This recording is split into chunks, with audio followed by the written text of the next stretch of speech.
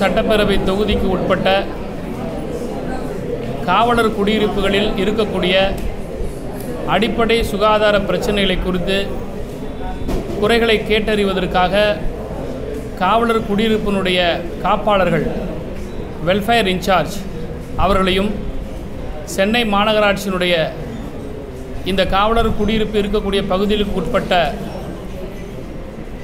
அதிகாரிகளையும் குடிநீர் மற்றும் கழிவுநீர் அகற்றும் வாரியத்தினுடைய அதிகாரிகளையும் காவல்துறை அதிகாரிகளை அழைத்து இணைத்து இந்த காவலர் குடியிருப்பில் இருக்கக்கூடிய அடிப்படை சுகாதார பிரச்சனைகள் குறித்த நிரந்தர தீர்வுக்காக ஒரு கலந்தாலோசனை கூட்டத்தை இன்றைக்கு நரியங்காடு காவலர் குடியிருப்பு வளாகத்தில் ஏற்பாடு செய்திருக்கிறோம்.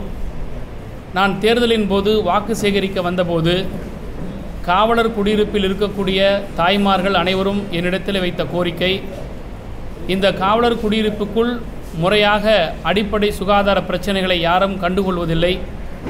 சாலை வசதி மேம்பாட்டுகளை குறித்து யாரும் கண்டுகொள்ளவதில்லை எனவே நீங்கள் வெற்றி பெற்ற பிறகு இவற்றிற்கு தனி கவனம் செலுத்தி முன்னுரிமை அளிக்கப்பட வேண்டும் என்று காவலர் குடியிருப்பில் இருக்கக்கூடிய தாய்மார்கள் என்னிடத்தில் வைத்த கோரிக்கை அடிப்படையில் என்னுடைய வாக்குறுதியை நான் நிறைவேற்றுகின்ற வகையில் கட்டாயம் corporation metro water plus police டிபார்ட்மெண்ட்டை இணைத்து ஒரு கூட்டத்தை நடத்தி இதற்கு நிரந்தர தீர்வு காணுவதற்கான முயற்சிகளை மேற்கொள்வேன் என்று நான் வாக்கு சேகரிக்கும் போது சொன்ன அந்த வாக்குறுதியை நிறைவேற்றுகின்ற வகையில் இத்தகைய கூட்டத்தை நான் ஏற்பாடு செய்திருக்கிறேன்.